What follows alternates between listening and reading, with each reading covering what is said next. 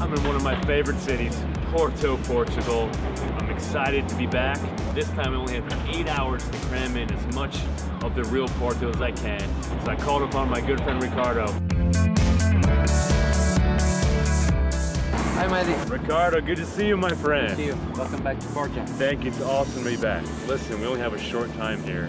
I want to show everybody the best things to do in Porto. Let's start with Porto wine. Let's go. So here, Gaia, it's where you can find old port wine cellars. You have Sandeman, you have Cálem, you have Graham's, you have Taylors, and you have this Churchill. So Churchill, it's the youngest port wine company. So they were were founded in 1981. But let's stop talking and let's, try some drink. port. Let's yeah. drink.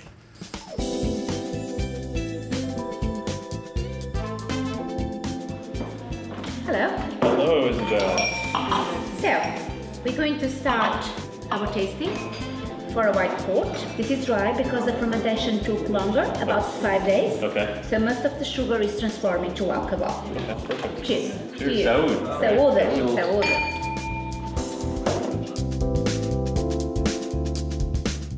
And then to finish, uh, a Tawny port. This is a matured wine, 20 years inside of the wood. I must say it's one of my favorite wines because there's a very good balance between oak and grapes in the same wine. It's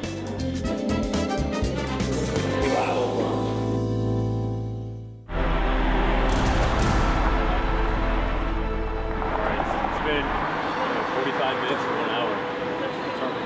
I'm starving, more pressed for time. Do you think this is worth waiting for the sandwich? We'll see.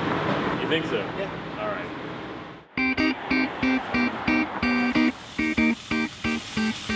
Because Francesinha, so it was invented in the 60s by a Portuguese immigrant who just returned from France, Okay. Daniel Silva. So and he tried to, to adapt uh, this uh, croque monsieur that's a French sandwich. He tried to adapt in Portuguese, so Porto way. So and it's basic bread, ham, cheese, roasted fresh sausage. You know the secret is not in uh, the, in the Francesinha itself. It's on the sauce. The sauce what makes it different. You can like taste everything. The steak, the sausage, roasted meat, roasted meat, the ham.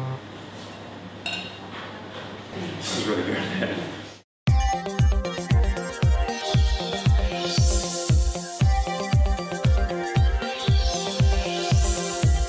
Now, what else is left here in Porto that we have to see?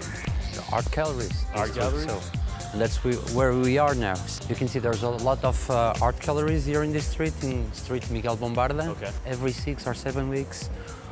Uh, altogether, the art galleries they make they make like a, the new exhibition, a new exhibition every six or seven weeks, and they, there's a lot of uh, party on, on the streets, like with live music, with DJs. I'm excited.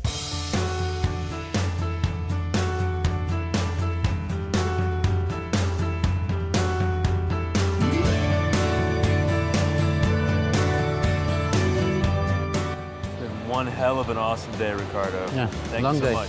Why we, we ended here, so that's my favorite spot to relax, you know, after a, a day. You can come here, have a drink, enjoy this view.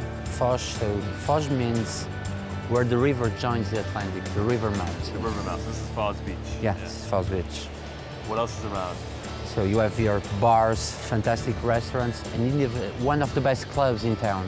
You have it here. And it's also a great place to uh, kick back and relax. Yeah, like to we're relax, doing now. yeah. Fantastic. Saúde, my friend. Cheers.